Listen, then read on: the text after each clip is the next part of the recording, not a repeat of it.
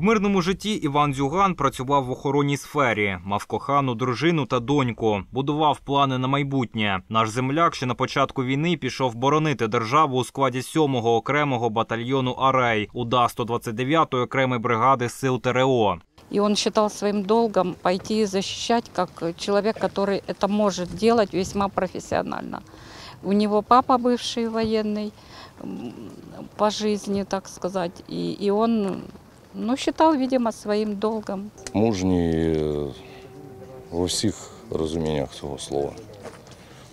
Ніколи не здавався і завжди йшов до перемоги. Добрих людей завжди не вистачає в нашому житті. Іван був один із них. Ми його знаємо як чесного, добру людину.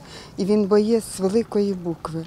Царство йому небесне загинув, нас захищаючи. За плечима мужнього воїна запеклі бої на Херсонському, Запорізькому та Донецькому напрямках. Побратими Івана кажуть, це був справжній боєць, який завжди міг прийти на допомогу.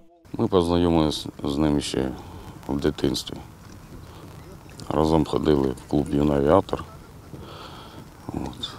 Потім наші путі разом зустрілися, разом робили в охоронному агенції. От. І разом і пішли потім на війну. Він справжній чоловік був, справжня людина. Він завжди мог прийти на допомогу завжди. І не, і не тільки мені, і другим побратимам, і своїм друзям. Він дуже всіх любив і поважав.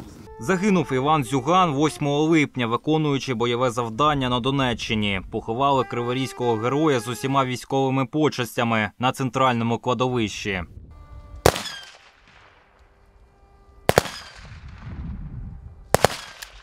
Михайло Бистров, Артем Кравченко. Цей день.